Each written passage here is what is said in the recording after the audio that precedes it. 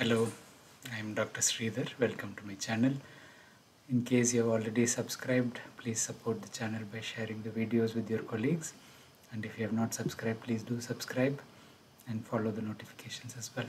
So there are a few uh, aspects of the NICU characteristics, including the space, the layout of the NICU, uh, equipment, whether they are updated, whether the servicing is done properly, whether the team is well versed with all aspects of the troubleshooting in the ventilator. A good biomedical team on site is very helpful. And uh, supporting services, the biomedical I mentioned, radiology, uh, cleaning services, the housekeeping team, supplies team, because you should have a good system of stocking and planning what you need. Pharmacy support is crucial as well, especially when we need urgent medications um, and uh, TPN preparation and so on is from the pharmacy as well.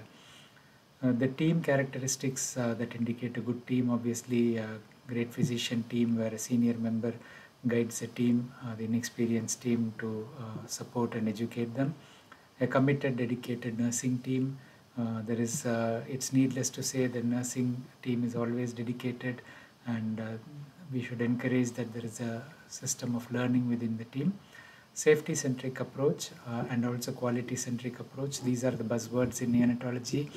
Obviously uh, quality uh, focuses on avoiding errors and if you have an error we have to learn from it without uh, penalizing. So a punitive approach is not ideal because it discourages further team members from reporting errors. So always learn from the error and make it a team approach rather than an individual centric approach. Always disseminate any uh, learning points from incidents that happen in the unit to the entire team so that everyone benefits by learning from the mistake that was made or an event that happened which could be avoided.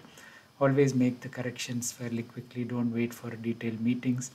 Uh, evaluate within the team come to an understanding and then uh, implement the changes. And when the wider uh, quality meetings are happening you can summarize this and audit it to make sure that the changes have happened uh, this should mean that you have a knee-jerk reaction to a problem. You have to implement the changes quickly without uh, bureaucracy. That's what I mean to say.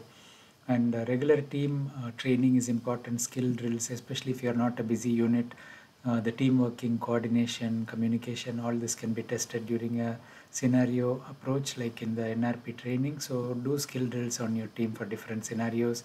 You can in, even involve other teams like radiology and pharmacy in it uh, debrief after incidents in a non-critical way, always learn from the incidents as we discussed. So we have two different models of the NICU here. So we have the more traditional layout here.